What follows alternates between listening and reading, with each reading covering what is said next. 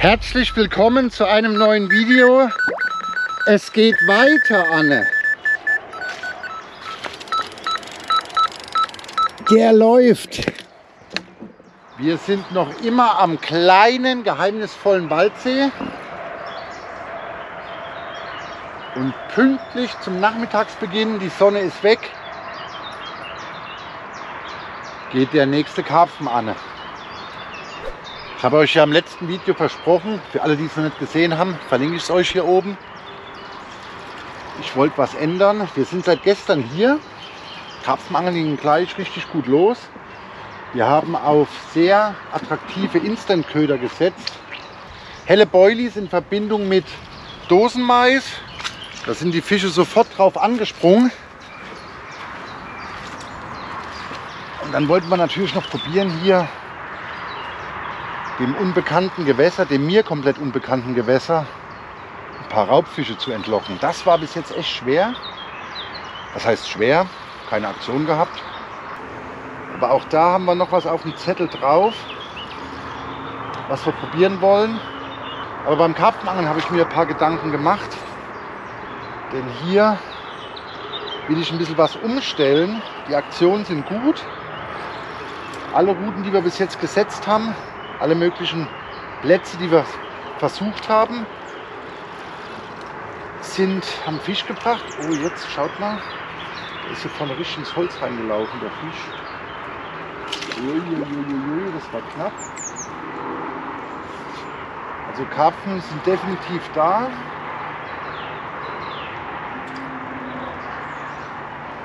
Aber ich wollte noch mal noch was probieren. Wir haben jetzt die meisten Fische, wie ihr es gleich sehen werdet, auf gelbe Neon-Pop-Ups gefangen über dem mais boilie teppich Also ganz wenig gefüttert. Aber wir wollen jetzt probieren, noch irgendwie einen von den großen hier ans Band zu bekommen. Schuppi Ahoi! Schuppi hatte ich bis jetzt nicht. Flo hatte einen Schuppi heute früh. Ich hatte bisher zwei Spiegler und einen Graser. Das ist der erste Schuppi am Start.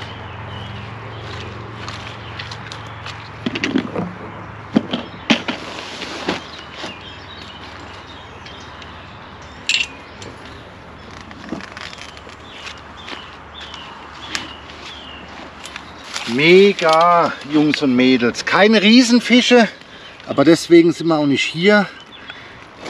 Unbekannte Fische, die keinen Namen tragen, die vielleicht noch nie gefangen wurden. Schaut mal, wie der hier das 360 Grad Rig sich rein geballert hat. Kleiner Schuppi. Der kann wirklich froh sein, dass er mit mir nicht gerade am Ebro unterwegs ist in Spanien. Da wäre es die perfekte Ködergröße. Aber hier ein toller Fang für den kleinen mittlerweile doch sehr geheimnisvollen Waldsee. Mal gucken, ob wir die hier noch ein bisschen von der Größe her hochschrauben können. Ich habe einen Plan, zeige ich euch gleich. So, schöner Schuppi. Klein, aber mein. Petri Heil.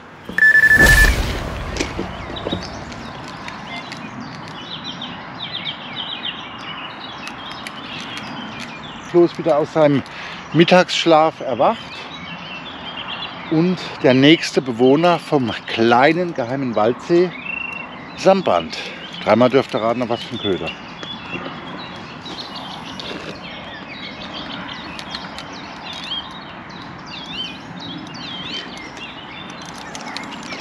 Ein Schupping, ein Schuppinger, mein geht's doch, oder? Spiegel? Ja. Ja, ein Spiegel, ja. Wir wollten doch jetzt größere Fische fangen, Flo.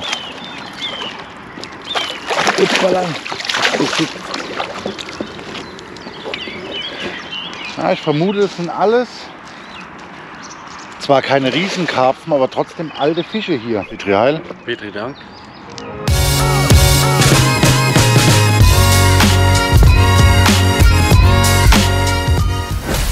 Eben am Nachmittag der nächste Fisch abgelaufen und ich habe euch ja gesagt, ich wollte euch noch eins unserer neuen Vorfächer zeigen.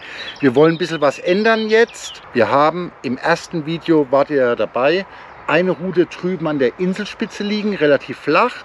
Eine Route hier drüben am Ufer in Holznähe. Hier drüben am Ufer habe ich auf Bodenköder gesetzt, anfangs auf den Schneemann. Hier liegt noch einer drin. Unten drunter ein Skobutter Bodenköder, oben drüber ein halbierter Pop-Up, damit er sich schön aufstellt. Da kam auch auf diese Bodenködermontage der bisher größte Fisch, der Spiegelkarpfen, am ersten Morgen gleich. Aber richtig gelaufen sind die Routen drüben an der Inselspitze und die am Waldhang hier, wo der Floh seine Routen präsentiert hat.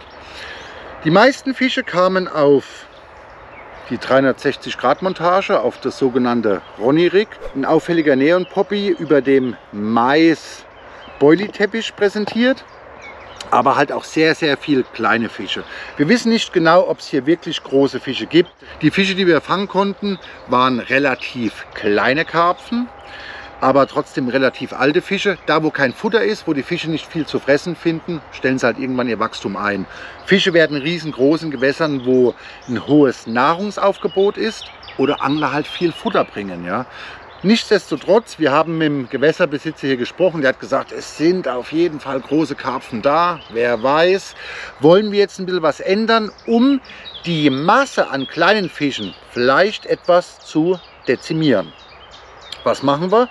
Klar, wenn ihr einen Futterteppich draußen habt oder einen Futterplatz, der gut anläuft oder einen Spot, wo die Karpfen drüber laufen, wo so ein Pop-up obendrauf rumwedelt, fällt er natürlich als erstes mit den Fischen auf und wird direkt attackiert.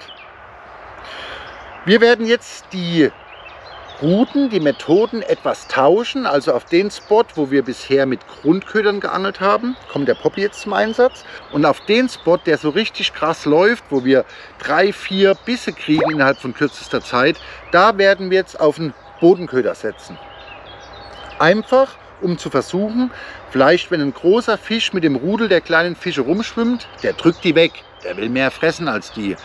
So den großen, den Einzelgänger, vielleicht hier am Waldsee abzugreifen.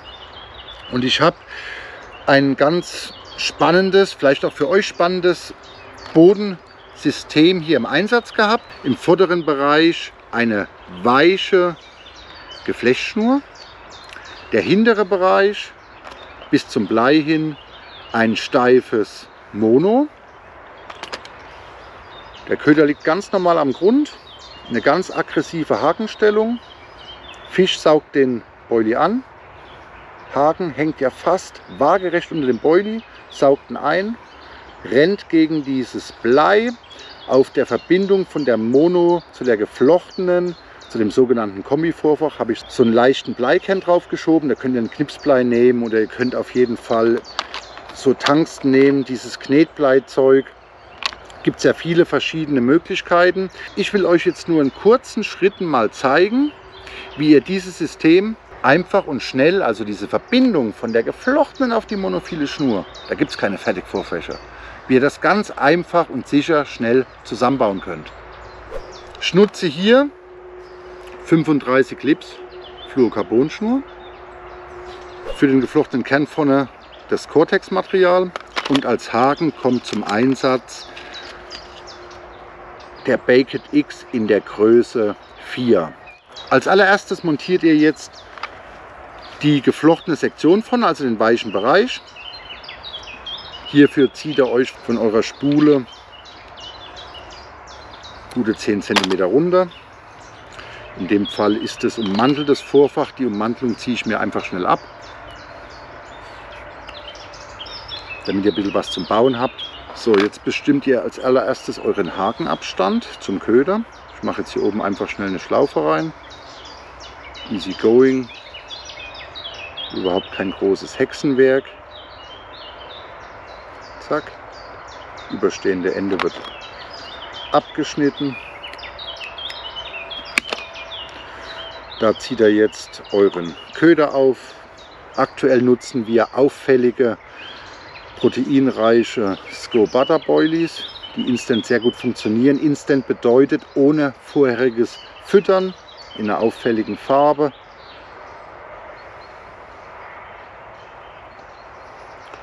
Fixiert euren Boilie mit einem Boilie Stopper.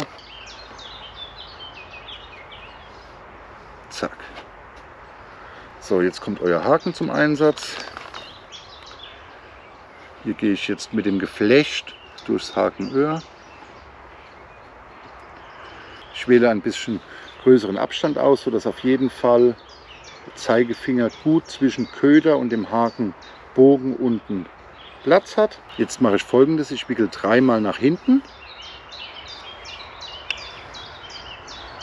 spreize dann den Boilie weg und wickel dreimal hinter dem Haar weiter.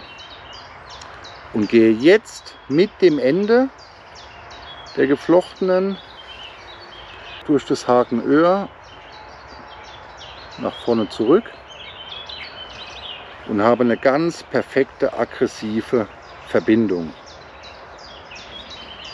Haken steht selbstständig durch diese Wicklung dreimal übers Haar, dreimal unter dem Haar und dann wieder zurück durchs Hakenöhr, schön vom Köder ab und habe ein bisschen größeren Abstand gewählt, um vielleicht es zu schaffen, dass ein kleinerer Fisch den ansaugt, wieder ausspuckt, aber ein größerer Fisch hier perfekt hängt. Eure geflochtene Sektion ist jetzt ready. Jetzt nehmt ihr euer Fluorocarbon für die Verbindung der steifen Sektion, der Mono des Fluorocarbon, auf das Geflecht. Ich lege jetzt hier eine Schlaufe. Schlaufe legen. Dann tue ich nach vorne ein bisschen zusammenstraffen. Gehe jetzt mit dem Geflecht von unten nach oben durch diese Monoschlaufe. Und entscheide mich jetzt gleich für die Länge der geflochtenen Zone auf mein steifes Material. Ich möchte ungefähr so 5-6 cm haben. Fixiere das Ganze jetzt und wickel das abgehende Ende der geflochtenen jetzt siebenmal schön eng zurück über diese Monoschlaufe. Schön eng aneinander legen. Eins, zwei, drei, vier, 5, 6, 7. Fixiere jetzt diese zurückgelegte Wicklung der geflochtenen mit meiner linken Hand und gehe jetzt mit der geflochtenen im gleichen Weg zurück, in gleicher Richtung austreten aus der Schlaufe. Jetzt fange ich an das Ganze vorsichtig zu straffen. Schiebe mit der linken Hand nach und ziehe den ganzen Knoten jetzt so zusammen. Nachschieben, ziehen. Nachschieben, ziehen. Und ihr habt eine ganz perfekte Verbindung von dem steifen Bereich auf euren vorderen Bereich, auf die geflochtene Sektion, die schön weich und flexibel ist. Das ist übrigens auch ein tolles Vorfach für das Werfen vom Ufer, dass ich nichts verwickeln kann, weil die Mono vorne im vorderen Bereich ist sehr verwicklungsfrei, lässt sich schön schleudern und der vordere Bereich trotzdem noch schön weich und flexibel. So, das Ganze spanne ich jetzt mal kurz hier an meiner Schere ein. Ziehe es richtig schön nach, dass sich der Knoten richtig schön zuzieht. Nachschieben hier ein bisschen. Bombenfest. Die überstehenden Enden könnt ihr jetzt hier abschneiden. Ich lasse da immer noch ein kleines Stückchen überstehen.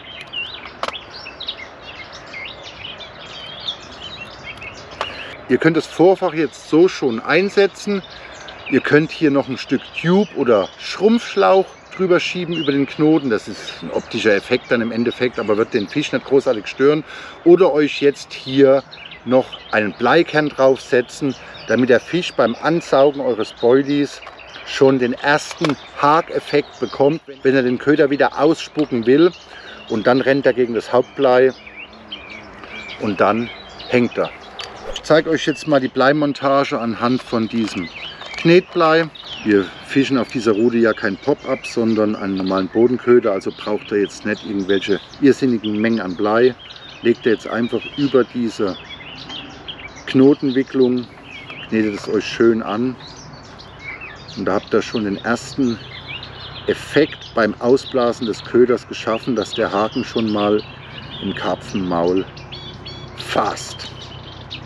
So sieht es jetzt aus, euer Kombi-Vorfach bestehend im vorderen Bereich aus einem weichen Geflecht für schöne Bewegung des Beulis, wenn der Karpfen den Köder ansaugt und im hinteren Bereich die steife Sektion, die euer Vorfach perfekt schützt für irgendwelchen Hindernissen, Bäume, Muscheln, alles mögliche, was da am Grund rumliegt und das Vorfach auch schön streckt. Hier im hinteren Bereich seid ihr jetzt natürlich frei in der Wahl, ob ihr ein Pop-up draufsetzt, ob ihr einen Schneemann draufsetzt oder wie wir es jetzt aktuell machen, nur einen einzelnen Bodenköder auf die Fläche, wo wir das Futter bringen und wo die Karpfen ja bisher richtig rasant abgegangen sind. Wir fahren jetzt raus, bereiten die Plätze nochmal vor, legen die Routen nochmal neu ab, bis in den Nachmittag rein. Jetzt war ja gut Action.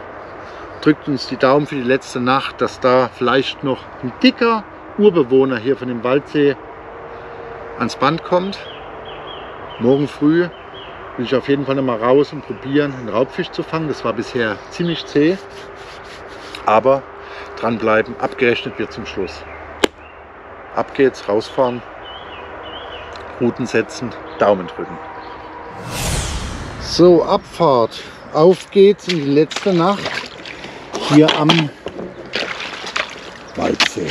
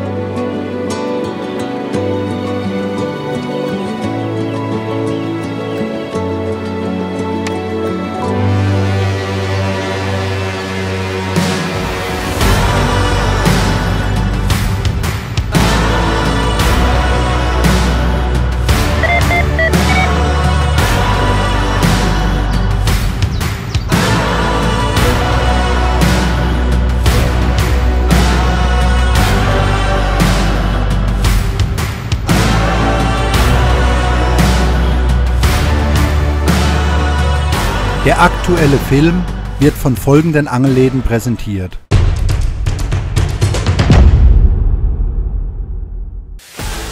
Hier bekommt ihr alle brandneuen Produkte, ein super Preis-Leistungs-Verhältnis und eine fachmännische Beratung.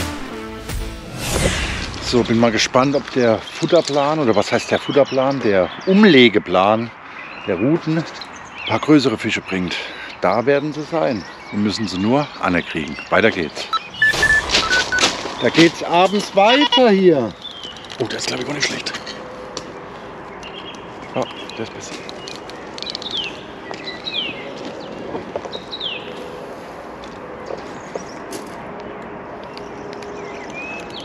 Alter Falter, der Wahnsinn hier am Waldsee geht weiter.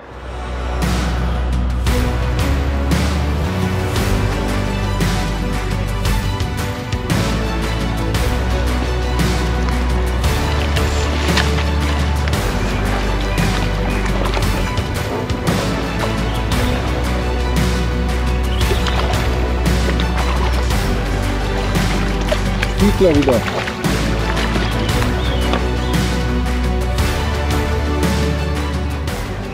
Petri Heil, junger Petri, Mann. Dank. Weiter geht die wilde Fahrt. Wenn die hier mal wachsen würden. Schöne Fische. Was macht sich denn da zu schaffen? Das neue Rig liefert, glaube ich. Komm.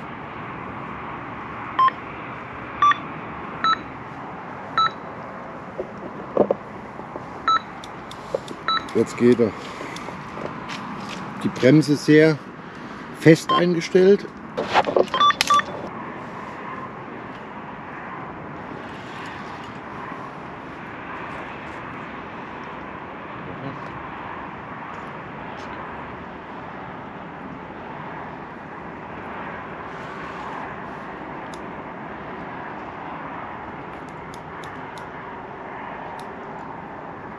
Fisch ist fest.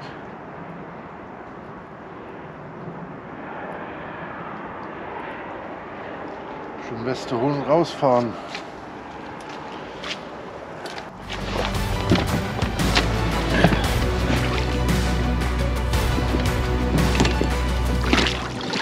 Auf geht's hinaus auf den kleinen Waldsee hier.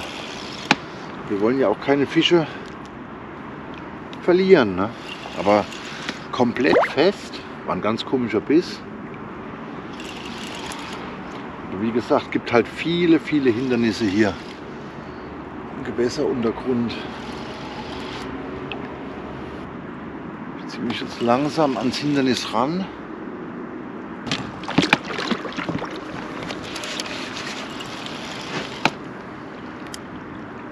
Das Spannende ist ja jetzt, dass es genau die Route ist, wo wir das neue System jetzt drauf haben. Unser Kombi-Vorfach im vorderen Bereich steif, im hinteren weich. Den Pop-up haben wir hier weggenommen, um vielleicht an größere Fische ranzukommen. Schauen wir mal. Eigentlich war es relativ sauber abgelegt. Ja. Mal gespannt jetzt.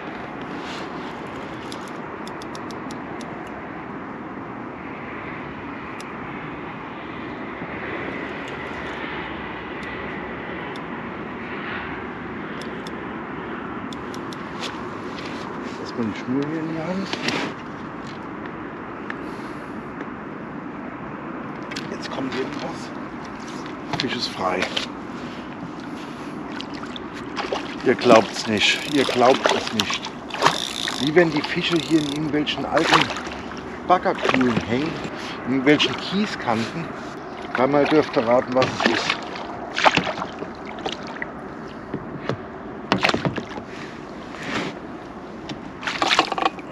Den greife ich mit der Hand.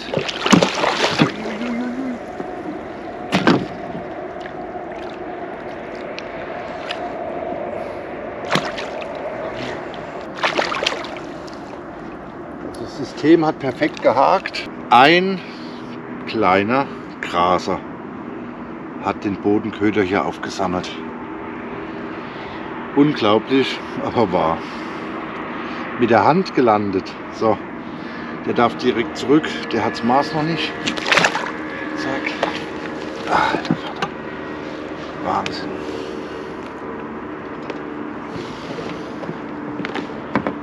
Hier seht ihr nochmal das neue Vorfach.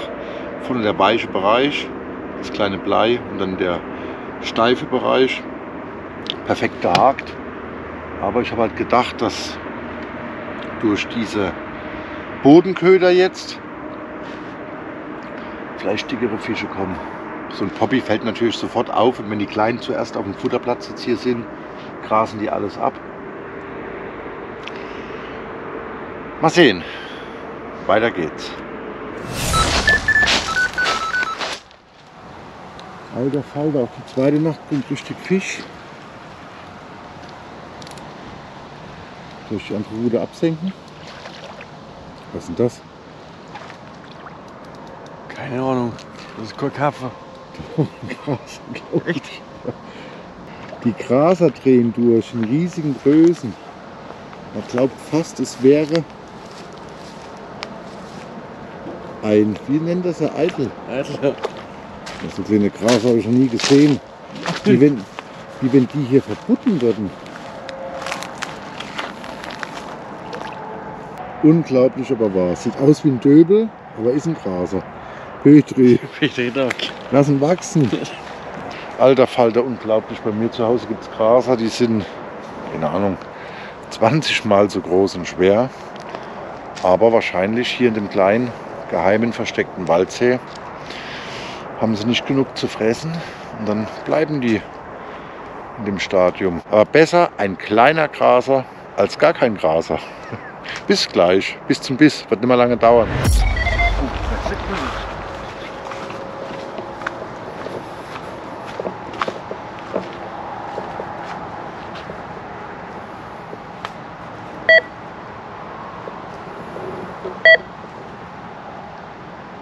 Was ist heute Nacht hier los?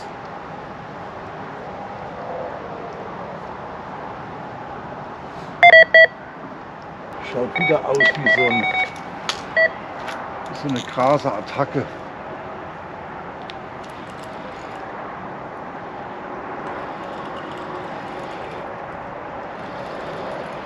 Die Graser drehen jetzt durch hier am kleine Waldsee. Kommen die ganzen Graser her? Ich glaube, das ist auch wieder so ein, so ein spritziger Kamerad hier. Ja, Ja. Falle. Gibt's doch gar nicht. Wieder Graseralarm. Hui, hui, hui.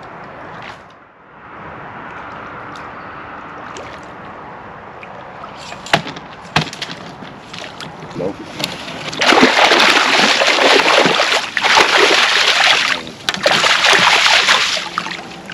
Ja, ein bisschen, ein bisschen, ein bisschen größer wie meine. Wirklich verrückt. Jetzt haben wir den Platz gewechselt, also mit den Vorfächern. Hier nah an den Bäumen den Poppy.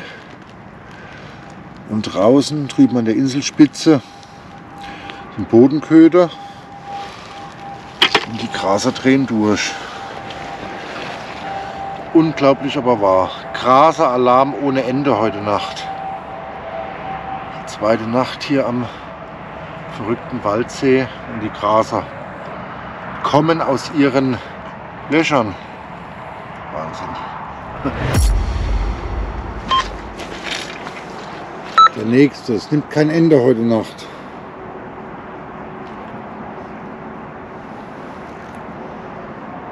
Swinger ist durchgefallen. Spann mal kurz nach.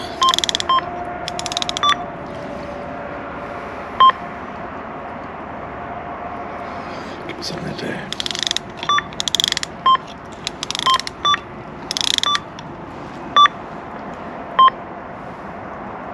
Ja, Fisch ist drauf. Die Graser Party weitergeht.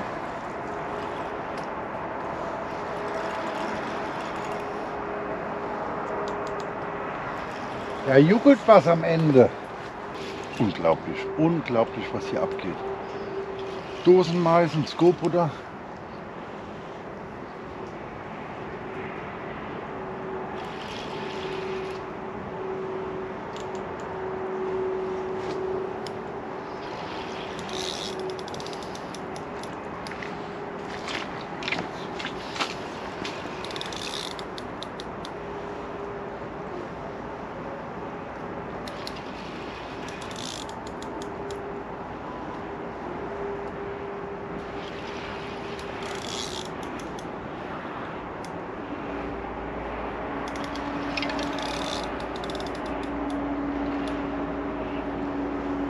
Und das Rig, Jungs und Mädels, was wir vorhin zusammen gebaut haben.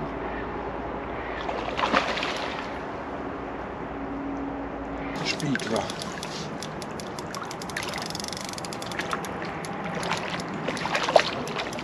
Reingeholt.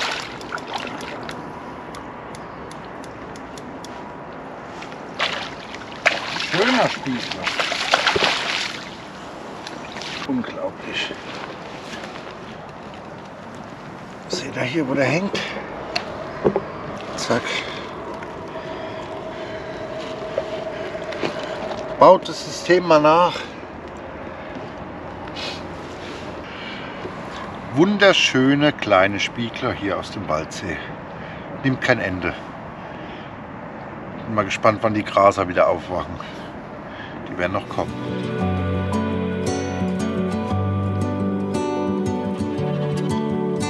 Petri Heil. Alter, läuft das Ding, Floriano! Heute Nacht schlafen wir nicht. Vielleicht hast du jetzt das Monster hier vom Waldsee dran. Der ist auf jeden Fall besser wie in der ersten Nacht.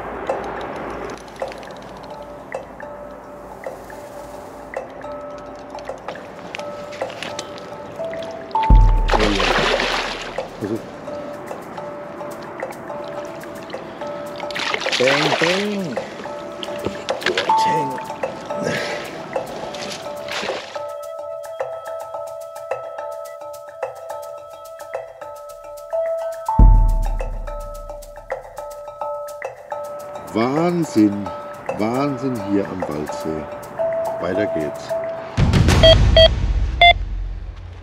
Und Abfahrt aus dem Schlafsack raus.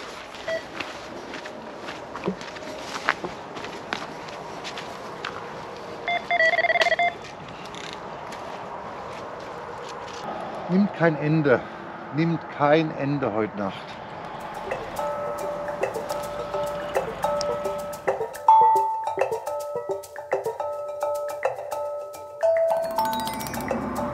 I like Graser.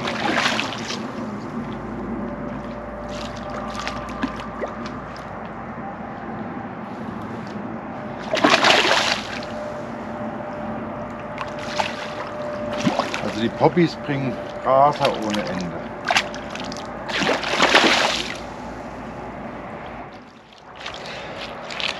Nimmt kein Ende mit den Grasern hier.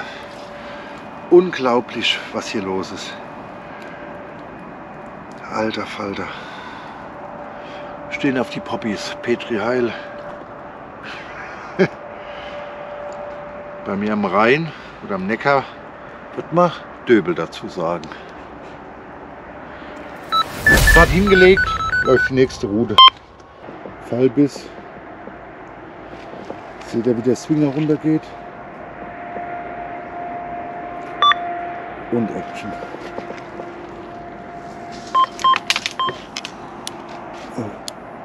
Fisch on! Und hier wieder unser Kombi-Vorfach, mit dem wir eigentlich die Dicken fangen wollten.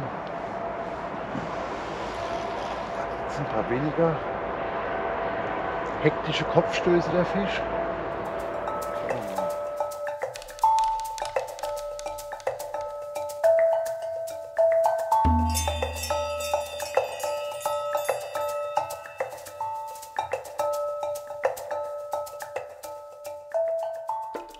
Vor fünf Minuten eben den Graser abgeschöpft. Wirklich.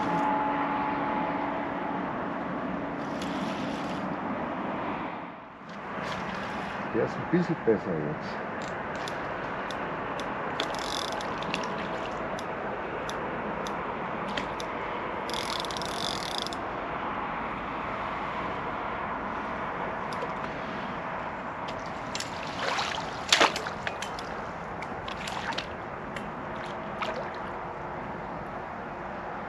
Na komm, mein Freund.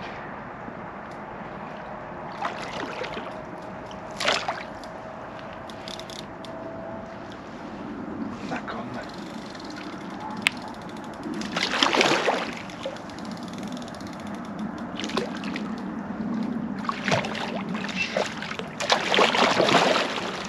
Komm.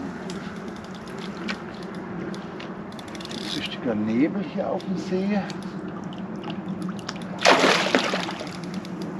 tobt.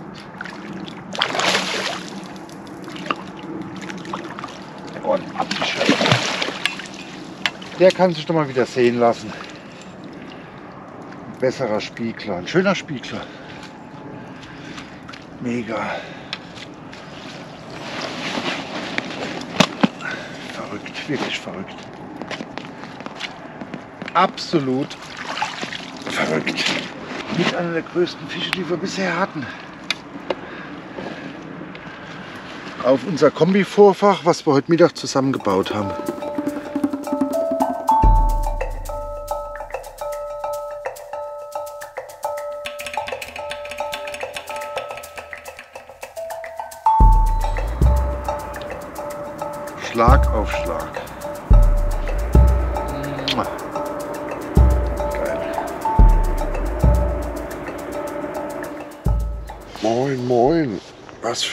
Kurze und fischreiche Nacht.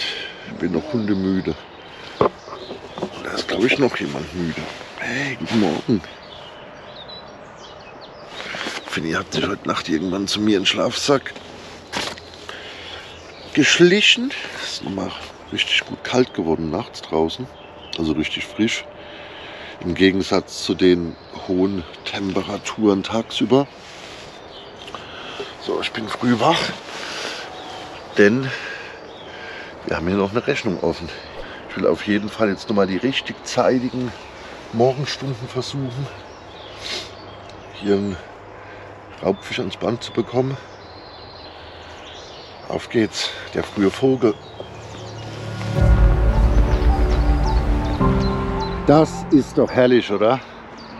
Die Sonne geht da hinten auf, blinzelt hier durch die Bäume durch, die Vögel zwitschern. Karpfenruden habe ich jetzt schon mal reingeholt nach der actionreichen Nacht. Von der Bissfrequenz, von der Spezienvielfalt, ja, Graser, Schuppis, Spiegler, hat das hier schon ganz schön gerockt. Hat es mega Spaß gemacht an dem kleinen Waldsee hier. Müssen nicht immer Riesenfische sein. Hauptsache es geht was an und vor allen Dingen in neuen unbekannten Gewässern. Solche Fische zu fangen, die wahrscheinlich in ihrem Leben noch nicht oft einen Angelköder gesehen haben ja, oder am Angelhaken waren, ist schon geil, macht schon Spaß. Und es kann ja alles passieren. Und jetzt versuchen wir noch einen Räuber hier ans Band zu bekommen. Abfahrt.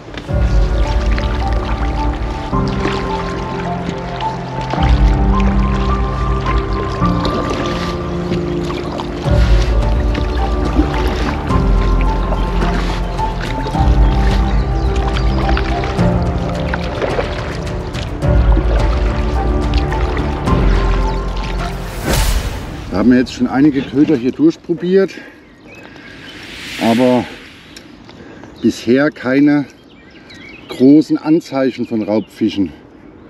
In Abendreihen haben wir geangelt, Mittagszeit haben wir geangelt.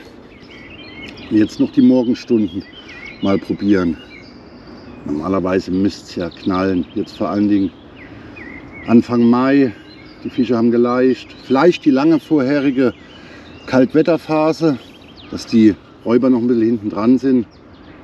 Wer weiß, aber die Karpfen stehen ja auch voll drauf. So, was machen wir? Meine Goldschleie, habe ich mega Vertrauen drauf. Forelle hier, ein Replicant. Hardbaits. Oder was ganz Natürliches. Ja, vielleicht gehen wir mal auf ein natürliches Dekor, nicht so groß. Wer weiß, was hier zur Hauptnahrung der Hechte gehört. Aber jetzt, wo die Sonne noch nicht so richtig durchkommt, werde ich mit der orangenen Schleie starten. Die fällt richtig gut auf im Wasser und hat schon ein paar Mal gut performt.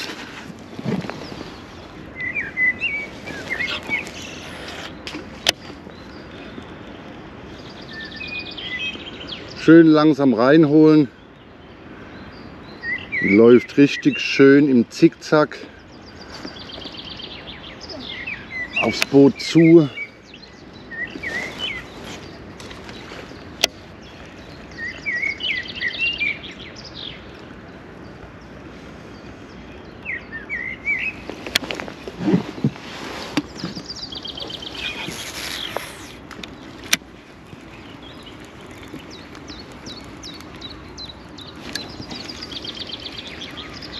Wieder Grundkontakt. Ziemlich viel Totholz liegt hier im Uferbereich. Fällt halt alles rein, holt keiner raus. Ne? Aber dort, wo das Holz ist, sind natürlich auch in der Regel die Räuber.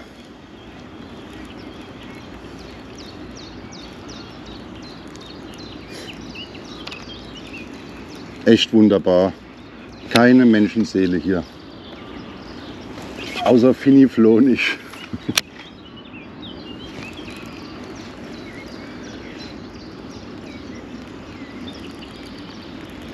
Das Einzige, was mich so ein bisschen wundert, habe es im ersten Video, glaube ich, schon mal gesagt, dass kein Barsch oder irgendwas mal hinterherkommt. Ja, dass keine Barsche hinterherkommen.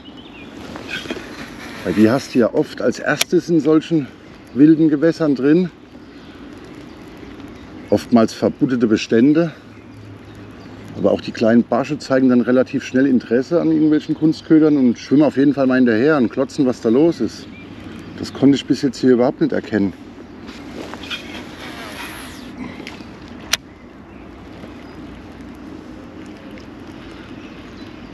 Könnt ihr mal sehen, wie schön die läuft. Also da stehen Hechte drauf, ja, definitiv. Schon unter leichtem Zug beginnt die schön hinten zu tänzeln.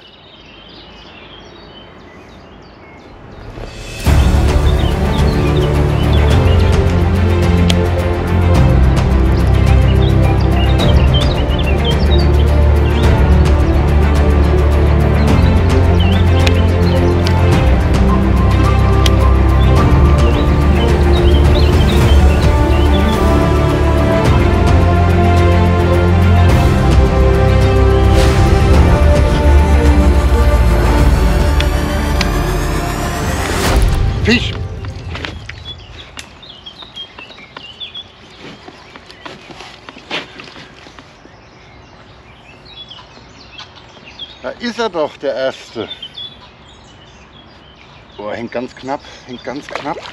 Uiuiuiui. Hängt ganz knapp, der Kollege. Hängt ganz knapp. Hoppala. Jawohl. Mega, mega. Schaut mal hier rein. Die wollte haben. Hängt knapp, aber hängt. Ja, auf Goldi ist Verlass. Goldi liefert. Manchmal mehr, manchmal weniger. Kommt halt immer drauf an, was da ist. Schöner Hecht hier aus dem kleinen, verwilderten Waldsee. Mega. Schaut mal. Da ist er, Petri Heil. Der kann sich doch schon mal sehen lassen. Auf Goldi ist halt doch Verlass. Gleich weg den Haken hier. Zum Glück hängt der untere Drilling nicht. Zack, zack. Mega. Wop, wop.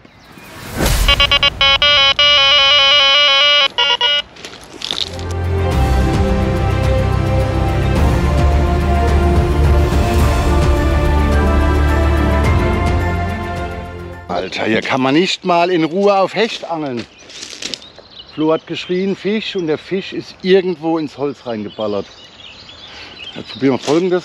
Mach langsam, ich halte es raus und gucke, ob ich über die Schnur den Fisch befreien kann. Alter Falter, was ein Wahnsinn. Es geht Schlag auf Schlag hier am kleinen Waldsee. Gerade eben angelegt. Ganze Hechtgedönse natürlich noch drin. Aber wer weiß, vielleicht ja unser erhoffter Big Fish jetzt hier aus dem Waldsee. Kurz vor Schluss. Heute Mittag geht's heim. Waren zwei Megatage. Also früh noch einen schönen Hecht gekriegt. Und vielleicht jetzt noch den Karpfen. Eins ist auf jeden Fall Fakt, eins dürft ihr nie machen. Beim Uferangeln wenn irgend so ein Fisch irgendwo reinschwimmt, kann ja immer passieren, wenn viele Hindernisse im Wasser sind, nicht einfach vom Ufer ziehen. Wenn ihr natürlich kein Boot habt, habt ihr keine anderen Möglichkeit. Bei warmem Wetter kann man vielleicht, wenn die Entfernung zu groß ist, mal hinschwimmen, irgendwas probieren. Aber wenn er zieht, dann passiert oft der Fischverlust, also der Abriss. In dem Fall haben wir ein kleines Boot dabei. Ich muss mal gucken, ob ich die Schnur irgendwo finde. Hebt mal an, bitte. Leicht kann man so befreien.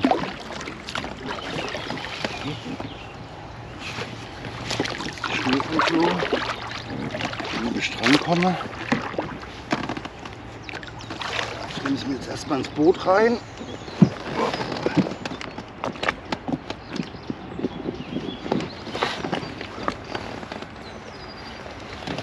So, jetzt fahren wir an der Schnur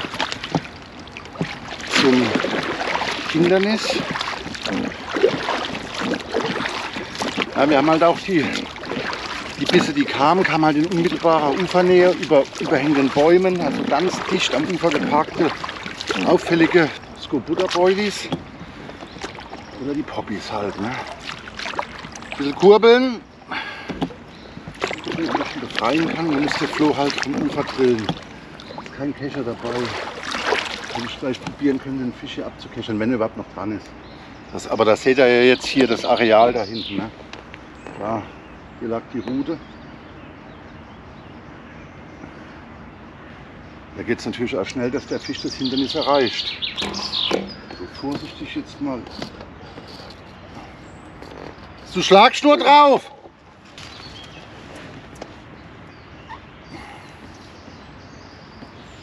Irgendwas wird frei, irgendwas habe ich bekommen. Und jetzt geht es hier wieder nach außen. Hier kommen die ersten Bäume hoch, die ersten Äste. Ich glaube, der Fisch, siehst du, seht ihr? Hier ist er einmal drum geschwommen. Wow. Grill mal, ob frei ist. Fisch dran. Fisch ist drauf. Seht ihr, der kleine Ast hat schon gereicht. So, jetzt muss ich Gas geben. Überheizen. Aber so einfach kann es dann sein. Ne? War so ein Ast. Ein starker Ast, noch ein grüner Ast. Aber wenn da halt der Fisch rumschwimmt, ist da keine Chance, den zu befreien. So, gib mal Gas. Hält man Flo noch beim Keschern. Das artet hier richtig in Arbeit aus. An unserem letzten Morgen. Aber das wird doch jetzt der perfekte Abschluss, oder? Vielleicht der Flo noch ein schöner Karpfen. Ich fuhr in den Hecht. Alles im Kasten. So, Kescher haben wir parat. Puh.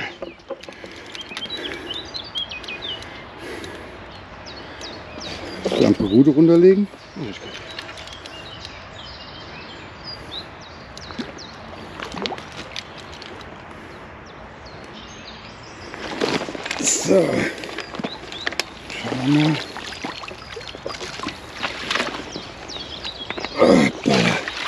Petri! Geil!